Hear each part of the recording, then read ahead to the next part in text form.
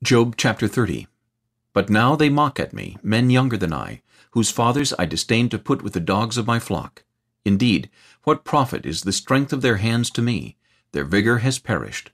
They are gaunt from want and famine, fleeing late to the wilderness, desolate and waste, who pluck mallow by the bushes, and broom tree roots for their food. They were driven out from among men, they shouted at them as at a thief. They had to live in the clefts of the valleys, in caves of the earth and the rocks. Among the bushes they brayed, under the nettles they nestled.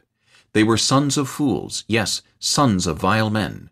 They were scourged from the land. And now I am their taunting song. Yes, I am their byword. They abhor me. They keep far from me. They do not hesitate to spit in my face.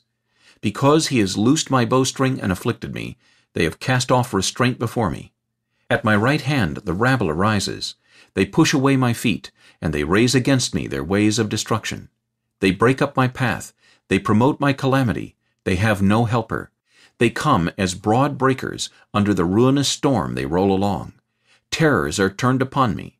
They pursue my honor as the wind, and my prosperity has passed like a cloud. And now my soul is poured out because of my plight.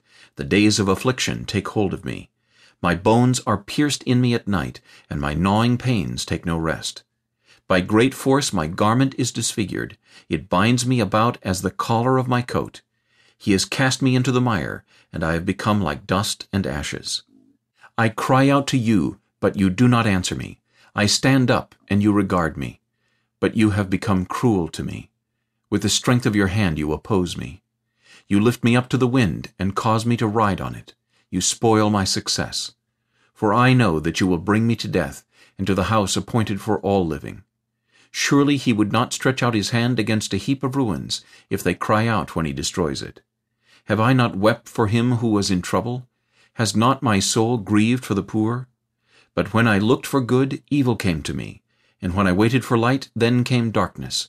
My heart is in turmoil and cannot rest. Days of affliction confront me. I go about in mourning, but not in the sun. I stand up in the assembly and cry out for help.